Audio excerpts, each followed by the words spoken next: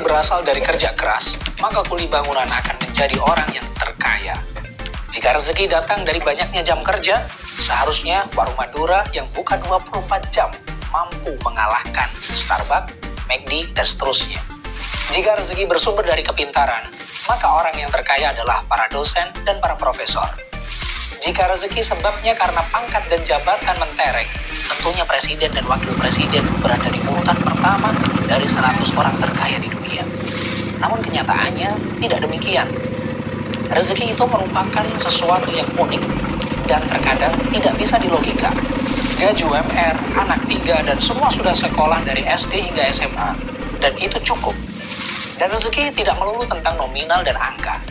Namun kesehatan, teman yang baik, dan tidak toksik, bisa pulang setiap hari bertemu anak istri, itu rezeki. Kasur termahal bukan bentuk rezekinya, tapi mampu tidur nyenyak rezekinya. Makan makanan yang terlezat bukanlah rezekinya, tapi mampu makan dengan nikmat itulah rezekinya. Rumah mewah, megah, bukan bentuk rezekinya, tapi kehangatan keluarga di dalamnya akan menjadi rezeki penuh dengan keberkahan. Jadi, kita sepakat bahwa rezeki bukan nominal dan angka, karena rezeki berasal dari hati yang mampu mensyukuri setiap nikmat yang datang dan menghampiri kita. Tanpa memandang bentuk dan jumlah yang diberikan.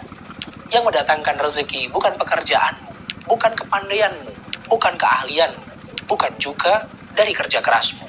Namun rezeki akan datang ketika syukur terucap tulus dari dalam hati.